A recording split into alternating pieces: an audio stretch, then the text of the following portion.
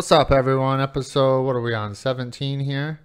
Yeah, episode 17. Welcome, Half the Story podcast. We're back off a little bit of layoff over the holiday weekend. Much to talk about, much to talk about. Um, had this juicy episode brewing for a while. Got this juicy tangerine sour. And just as I'm about to click play, I spilled it. And uh, sour beer never dries up so quickly and it sticks to the floor, so my feet are all sticky. So, shout out to sour, sour beer and uh, this juicy episode. But we're back. We're back better than ever. S- episode 17 here. We're cruising up to episode 20 here. So, what's been up? Hopefully, you guys had a great 4th of July. Uh, if you don't know, 4th of July is my birthday. I turned the old 29, looking fine at 29. And uh, so now a year older, a year wiser, as they say, and uh, definitely don't feel it. I just feel older mostly. Um, my hips and my shoulders feel older, you know, still doing the, the CrossFit and everything like that. Actually, just got done with CrossFit tonight.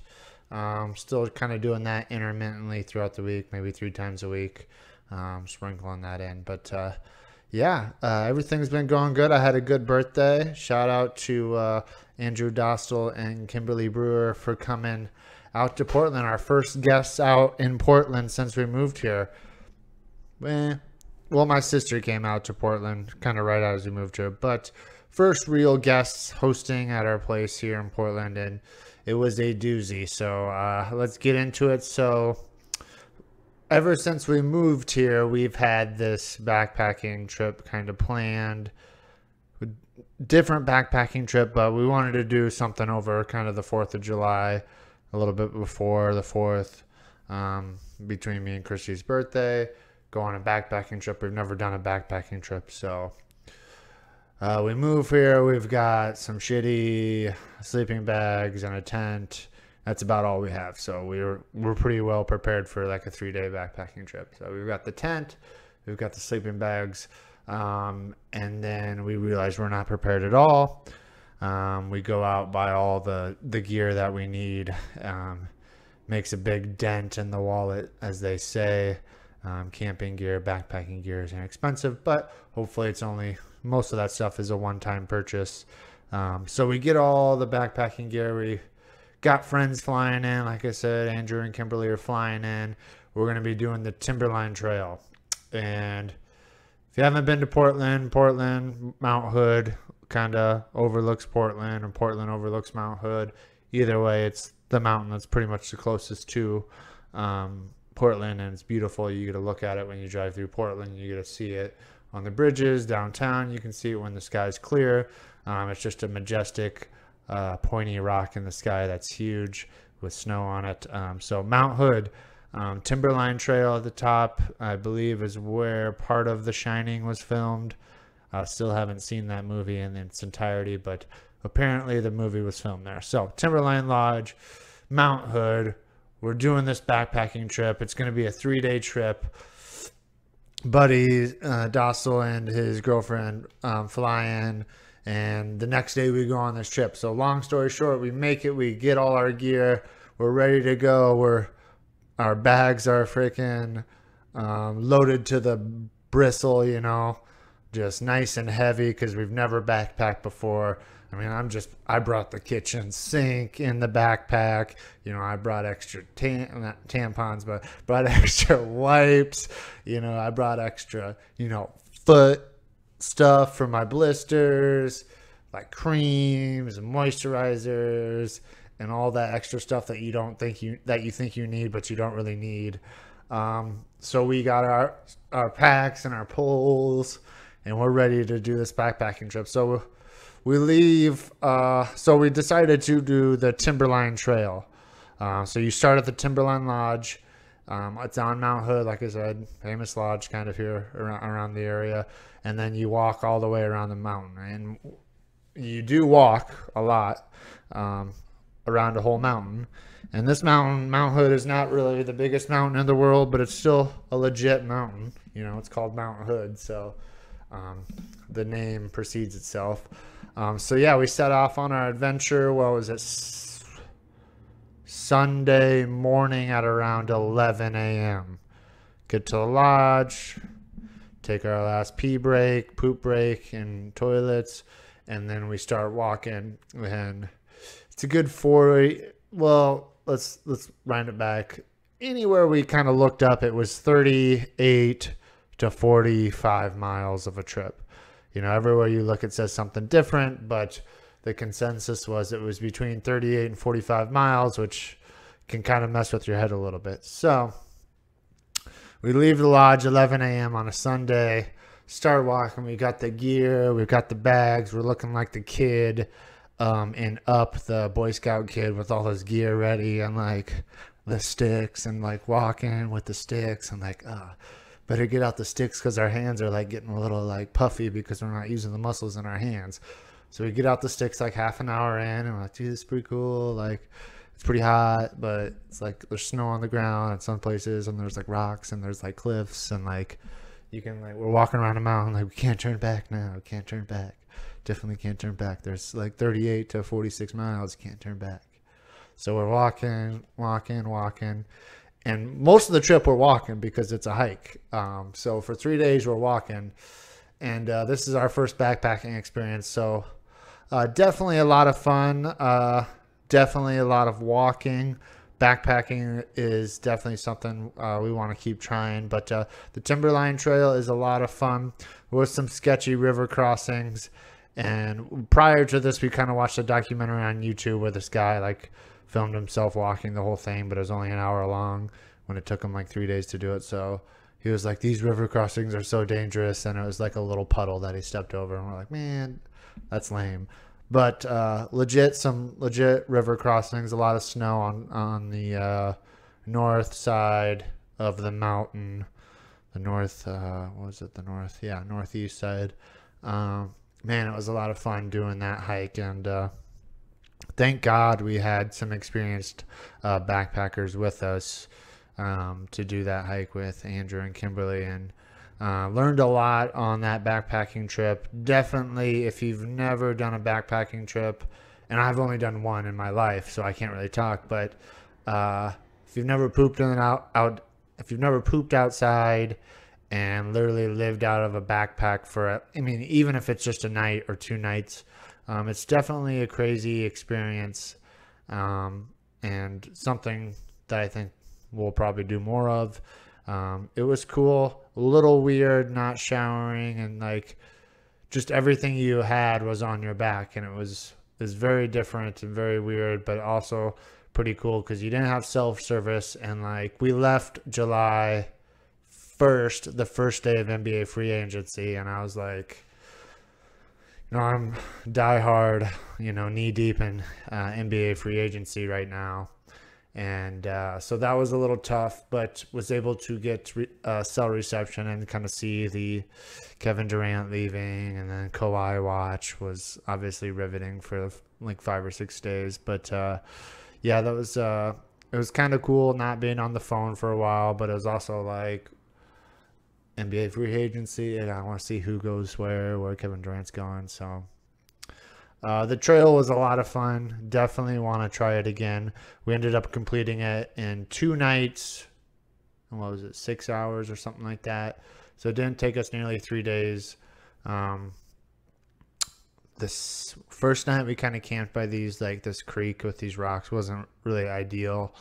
Um, and then the second night we camped at Camp Cloud or something like that, which was an actual campsite, which was nice. So we lit up a fire and probably 10, 15, 20 minutes after we got there, it started hailing and storming. And I was actually the night that uh, the Portland area around it actually had one of their tornadoes, which was like, I don't know, the fifth ever or something like that. So um, it hailed for a few minutes, but uh, um, so we just hung out in the tent and had our like like boiled our pot and water and our Jetboil and like made a hot meal and like sealed it up and just like let it sit there for 25 minutes.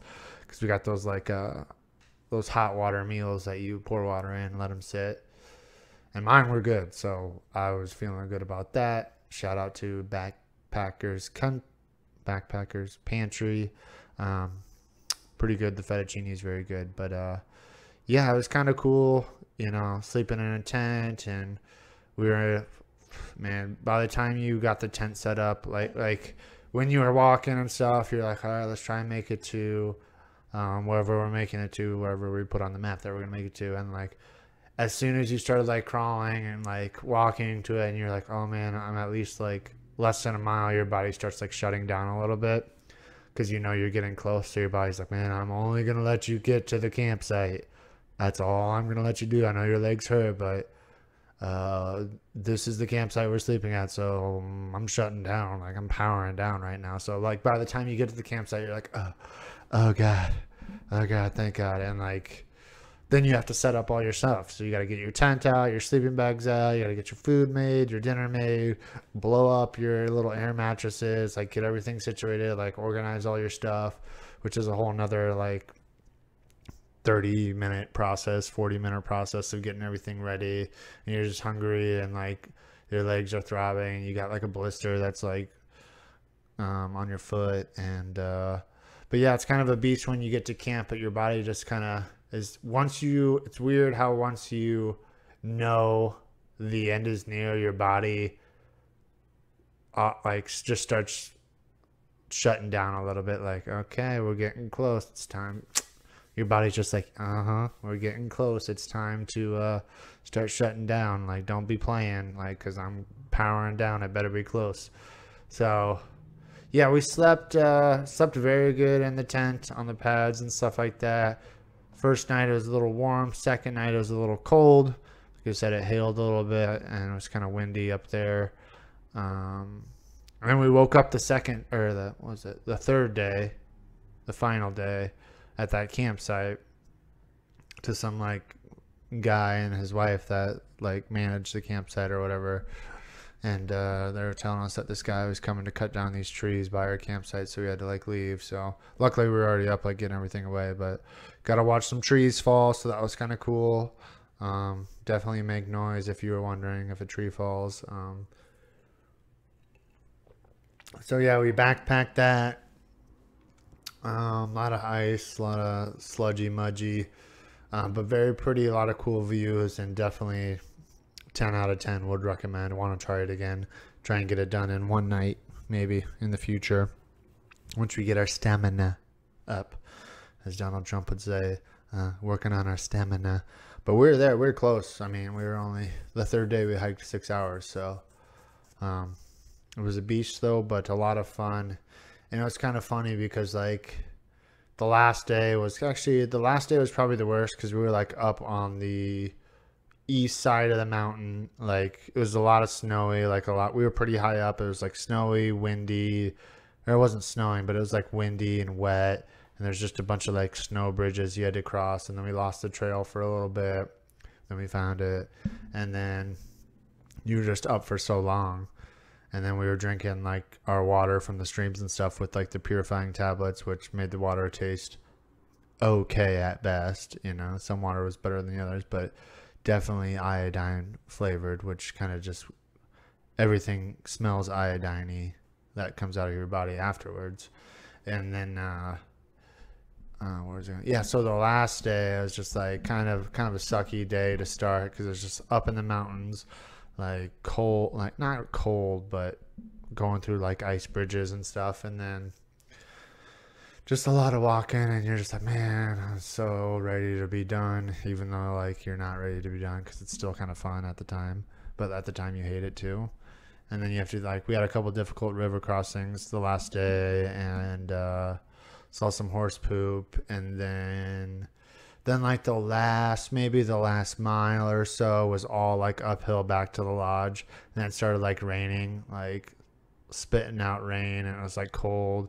And we were all just like, man, screw this. And we were just like walking in sand, like slow and like, uh, like walking really like slow and just waiting to be done. And then I was talking to everyone. I was like, man, I bet like I can't wait till we like get close to the lodge and like we're gonna hear children laughing and stuff like that and playing and like we're like so used to not seeing anybody because we only saw like a few people on the trail. Like it's gonna be like walking back like in the walking dead where they finally find a home and like there's children laughing and playing and like we're back to civilization there's like a cozy like lodge chair for us to sit on and bathrooms and fresh water. And like we were walking back, and like, sure enough, come walking over this little hill, children's laughter, full on children's laughter, and I was like, yes, thank God. So that was pretty funny. That uh, definitely called the children laughter. Um, definitely lifted the spirits for the last like quarter mile, and then you just you're kind of walking. It was super foggy the last mile, so you couldn't see the lodge or anything. So it was like walking in the mist, and then like you just kept walking, and like inch by inch, you could kind of see the outline of the lodge, and then it was like, and then like you could see the lodge, and you're like, yeah, yeah. And then we got in the lodge, and like everyone was like on their iPads, like by a fire, cozy fire, like wearing their Patagonias, like and like eyeglasses and stuff like that, and like looking at us because we smelled like um, straight like mountain rats and uh, hadn't showered in like three days. But it was definitely a really good feeling getting done, and probably one of the top seven or eight feelings I've had in my life. I mean, wasn't it wasn't uh, it was definitely sucky and hard, but uh, looking back, it was a lot more fun um, when I look back on it than when than while we were doing it. But uh, I think you the whole reason you do it is for that moment at the very end where you're like, yes, I did it, and like I can finally like get a cheeseburger with like two handful of tater tots, which we did. Um, like on the way home, we can like eat whatever we want because we've literally been like eating nuts and like beef jerky, which is good, and like um, water meals and stuff like that. So definitely that feeling was almost worth the whole trip of being done and getting in the car and like taking your shoes off and knowing that you're gonna like sleep in your own bed that night and like get some good food in you. So I think that feeling will will be back and I think we're gonna try to do some at least some overnight backpacking trips here coming up um, coming up soon. So I mean we got all the gear. We spent an arm and a leg on it, so we might as well do it. So so that was our trip around the Timberline Trail. Um, very short and sweet, but uh, a lot of fun. Um, and uh, ended up being, I think, 48 point whatever miles. So definitely longer than the book said. Definitely longer than the map said. The map said like 38, but that was bullshit. So, um, but like I said, looking back on it, it was a lot of fun. Even though during it it sucked. It's just one of those things that um, kind of you look back in time and think like if you've ever detasseled before, which I talked about in my last one or two podcasts ago about detasseling a little bit.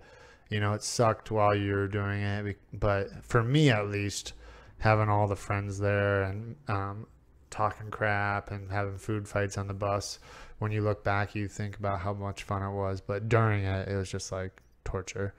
But it's just one of those things. Um, so uh, yeah, so then uh, got done with the Timberline Trail, had a cheeseburger and like at least 50 or 60 tater tots that were well cooked, and uh, enjoyed ourselves that night. Took a shower, had a couple beers.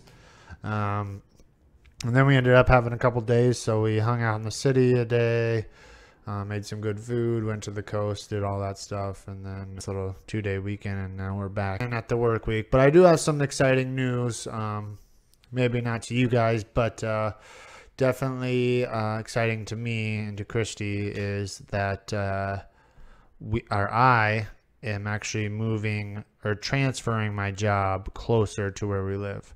So right now I am on the east southeast side of Portland, and I work in the westernmost suburb of Portland and Hillsboro.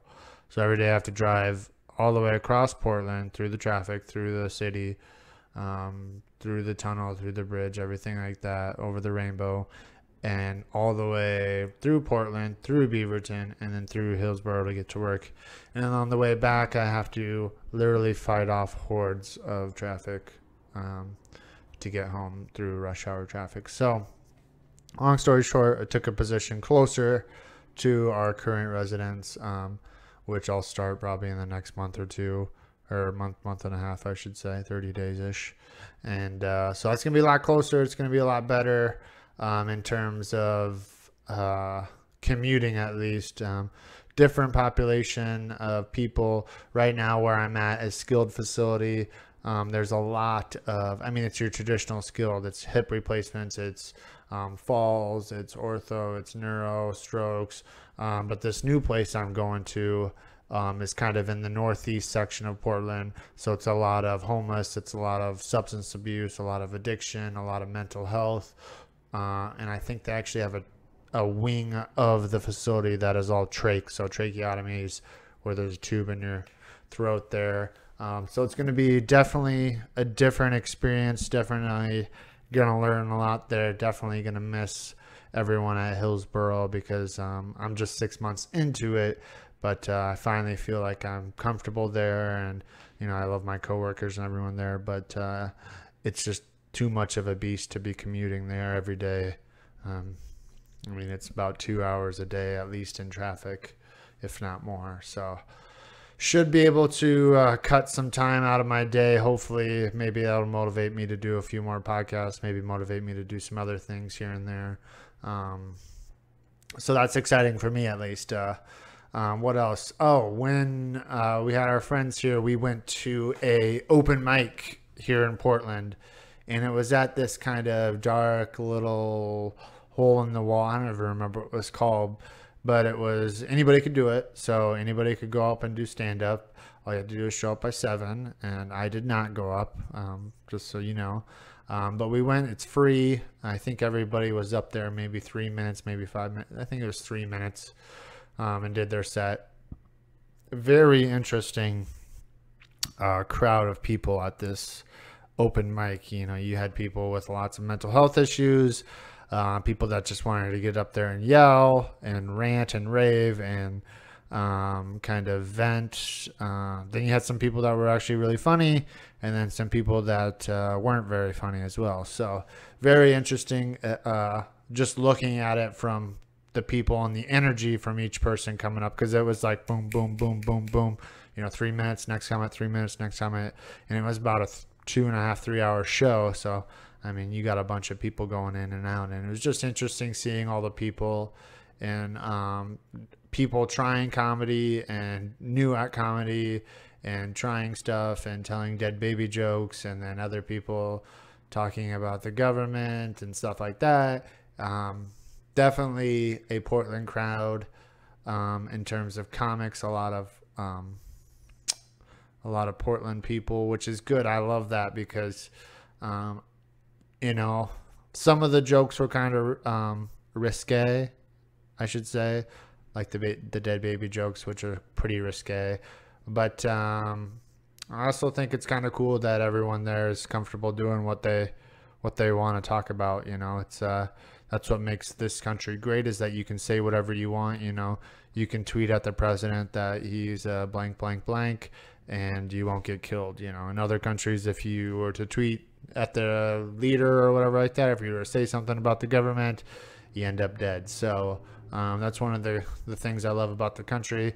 You know, I don't always have to agree with anything, but I love that people can say what they want and. Uh, Sticks and stones may break your bones, but words will never hurt you, and it's just comedy. So, um, definitely kind of maybe not inspired me, but maybe one day I'll go up there and try three minutes of something. Um, I don't know. We'll see. It would be kind of fun to just try it, you know, and I'd probably fall flat on my face, but one day maybe we'll try it. We'll give it a try. If I do, I'll let you guys know and let you guys know how it went. But uh, shout out to that place. I'd like to go back again some Wednesday and watch it. It was a lot of fun. It was kind of awkward, but it was kind of fun. Definitely a weird crowd, but uh, definitely a lot of fun as well, though. So, uh, yeah, first open micer type experience. Um, so a lot of fun. Uh, what else? What else? So NBA, yeah, talking about the NBA free agency. So like I said, when we went on the trip, was the first day of free agency opened up. You know, wheeling and dealing, all the NBA players are moving. And shout out um, to the NBA.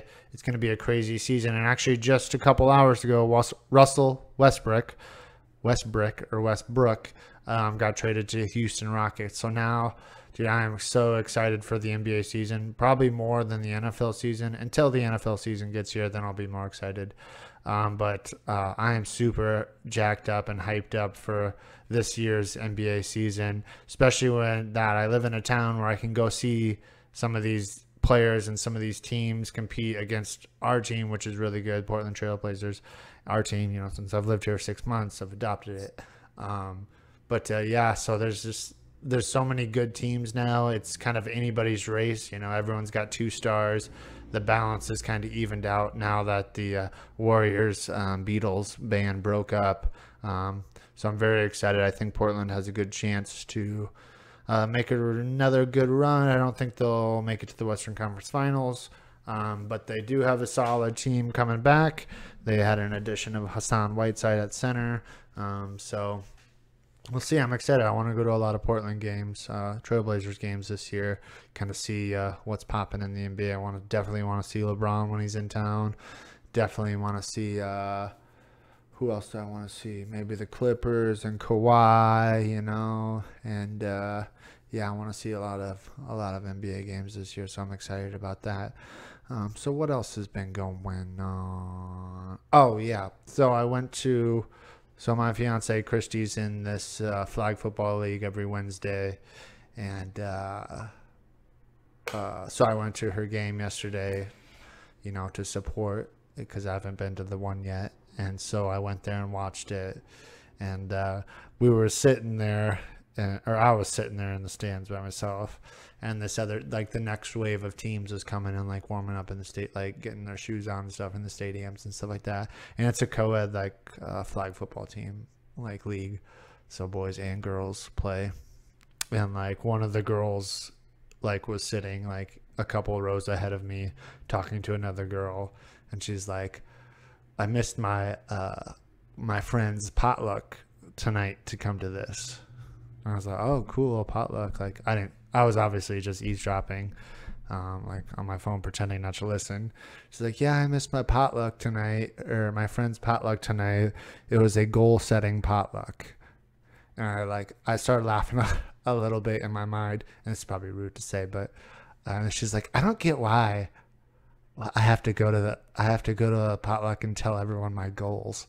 Like I just want to tell myself those goals and it was funny. Uh, definitely not as funny to you guys, but very something Portland, uh, which I love, is that uh, people have goal setting potlucks where you go and share your goals. And shout out to those people that do do that because, you know, get your goals out there. You know, it's it's funny to make fun of, um, but also, I think when you get your goals out there, it kind of leads you to. Uh, you know, when someone knows that you're after something, maybe they can hold you a little bit accountable to it. But uh, damn, whoever thought of a goal setting potluck, um, shout out to you because that's funny for one, and that's genius, but it's more funny than anything. And I'll probably make fun of you if you ever invite me to that ever.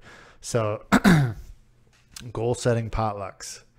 I'm going to try to somehow turn that into a bit if I ever do stand up for three minutes at open mic.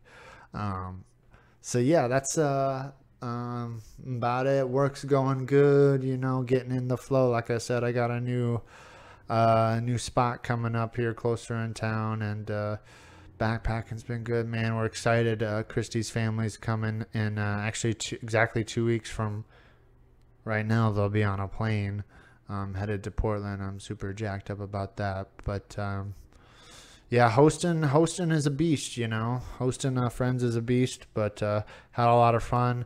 I'm excited to host family next and uh, get out in the city, get out in the uh, woods, and um, show them around town. So, uh, what else did I want to say? Um, yeah, everything's going good right now. Uh, uh, I think I'm gonna leave you guys with that. So. Um, shout out to goal setting potlucks. If you're interested, we're gonna have one here next Friday. I'm just kidding. And uh, uh, shout out to the Timberline Trail, Andrew and Kimberly for, and they were freaking just hauling like I don't even think they broke a sweat, even though they said it was hard. But I mean, those people can hike and bike and fight probably too. Um, so shout out to them for coming out, taking us on our first backpacking trip. It was a lot of fun. Can't wait to take someone on their first backpacking trip here uh, whenever that opportunity arises. And um, thinking this weekend we're gonna head down south to um, Oregon, the southern part of Oregon, and uh, go to Bend maybe, um, maybe see some dessert. Um, some desert parts of Oregon, and maybe just chill. So, um, maybe next week I'll talk about Walt's vet. Wet. Uh, I'll talk about Walter's vet visit where he got his uh, booty hole checked. So we'll see about that. Well, that's pretty much the whole story. And uh, you, we heard him crying from like three doors down. Not crying, but you know, you would imagine what a pug sounds like when he gets his booty hole checked. So um, that was pretty funny, but he was kind of mortified by it. But that's actually the whole story. So I'll save it for this one. Uh, but uh, uh, that's all I got for you guys. Thank you. Uh, as always, if you can hit that subscribe button on YouTube, uh, I'm more um, social on Instagram, uh, Facebook. I don't really use the Twitter, but I have one. Um, SoundCloud, iTunes, it'll be out. Um, other than that, guys, that's all I got for you today. Episode, what are we on? 17, 18? I think we're on 18 right now. 18 is a wrap, guys. I'll see you when I see you next. Hopefully, I can get one out, uh, busted out uh, this coming week. But enjoy your weekend. Shout out to Bend, Oregon. I'm going to be there probably this weekend. So take care, guys. I'll see you when I see you next. I'm out.